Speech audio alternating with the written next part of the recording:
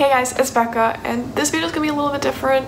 I'm to be talking about my mental health, doing like a mental health update. So first of all, I'm not to go into detail about things because I don't want to trigger anybody, but I'm still to issue a trigger warning just in case. I will be talking about, you know, like my mental health and sometimes that triggers people. So I just want to let you know, like if you're sensitive to that, either watch this video with caution or don't watch it at all because I don't want to trigger anybody. So now with that being said, I'm to get on with the video. If you hear sizzling in the background, I'm making veggies, so hopefully they don't burn.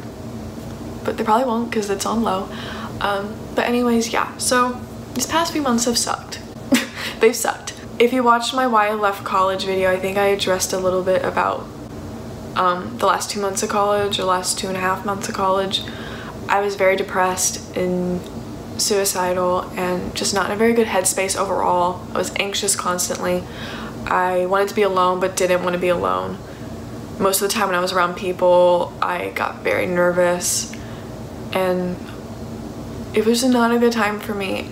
Um, but thankfully, I did have the support of my family, my internet friends, and my one friend Carissa, and my friend Natalie.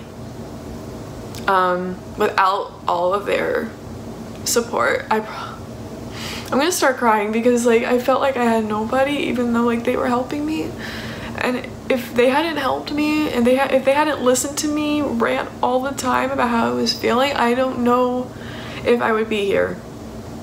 I don't because it was just a really hard time for me and I think like I thank them from the bottom of my heart for that. Anyway, sorry. Um but when I left, I felt so much better. I've had a weight lifted off my shoulders and I thought everything's gonna be better. Everything's just gonna be better. And here I am struggling again, but isn't it's not as bad as it was then. But I'm still struggling, and it's okay to struggle. Um, I feel like uh, people like not my family because they see how I am, but like people on social media think well they perceive me as somebody who's very positive all the time, very inspirational, like posting inspirational stuff or like being or something like that, and that's just not the case.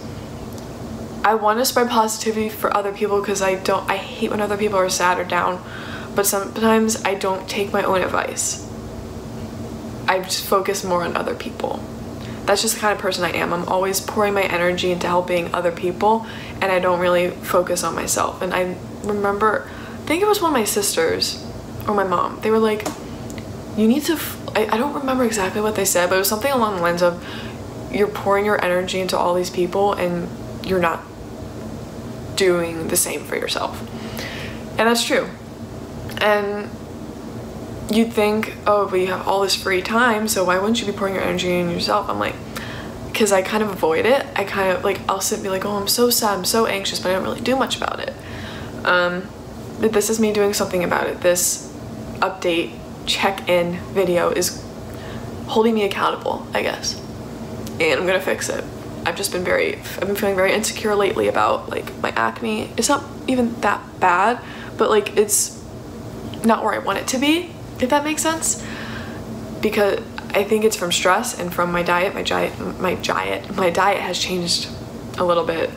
I need to fix it because I used to eat decently healthy. And now I'm like, eh, on the health side. I need to get back into doing yoga. I keep dropping that. I didn't, I have a $20 yoga mat. I gotta start using it. Um, but yeah, lately I've just been very anxious and crying a lot and just feeling very down.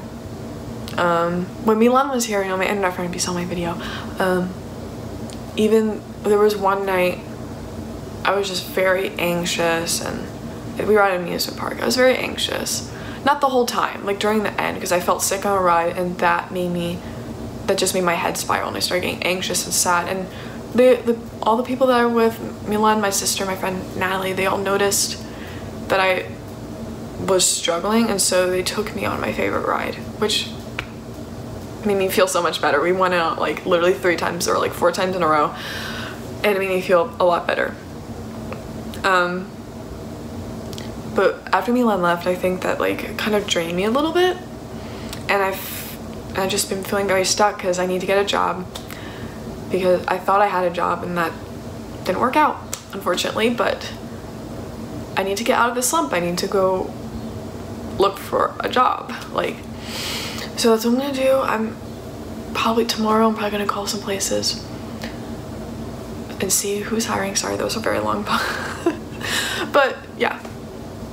I just want to, like, this video is just kind of an update, accountability.